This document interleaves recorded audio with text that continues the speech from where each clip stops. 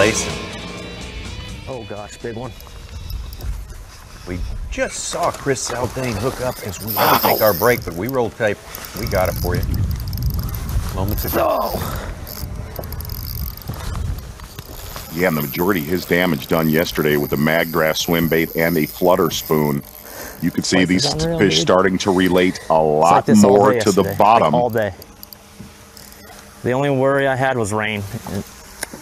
You see that jump?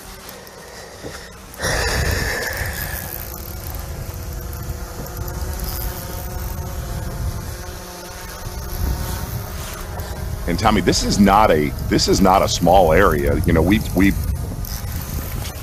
made Oh, a comparison to Lake St. Clair about how this area lays out. I mean, this Oh, is a hundreds of yard stretch, but obviously little key areas. Welcome to the slug fest. It is straight slugging out here. I mean, these are all three and three quarters, dude. Like all day. Like let's let's take a look. Let's see. Let's see. Make sure there's no fish beneath us here. Just all. All right. There's no fish underneath, so I can take my time. Fish are very very built to compared to a lot of the fish that